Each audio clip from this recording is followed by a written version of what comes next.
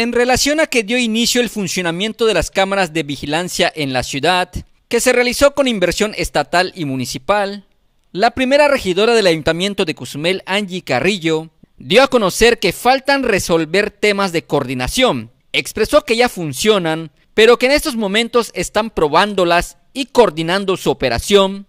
De igual manera mencionó que para la adquisición se requirieron más de 35 millones de pesos. El tema aquí es eh, la coordinación. ¿no? Eh, me imagino que aunque las cámaras ya están al 100%, pues eh, estamos empezando con, con la coordinación, no teníamos una sola cámara funcionando en todo el municipio. Es la primera vez que se ejerce un presupuesto de, de, esta cantidad, ¿no? para la seguridad de Cozumel y pues de una u otra manera nuestra presidenta municipal está dejando ahí una semillita, está dejando un precedente en el tema de, de cámaras de videovigilancia. ¿Estarían a prueba en esos momentos? Claro, está exactamente. Ustedes saben que todo tiene un proceso.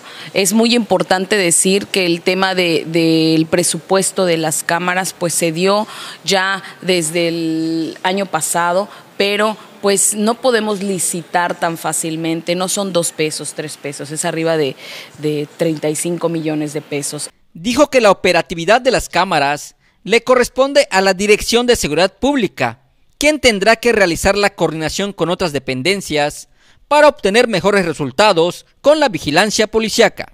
Pues es que la verdad eh, el tema ya operativo le corresponde a nuestro director. Lo único que yo te puedo decir es que pues lo que nos compete en el tema de presupuesto, en el tema de continuar viendo que se licite, pues ya se hizo.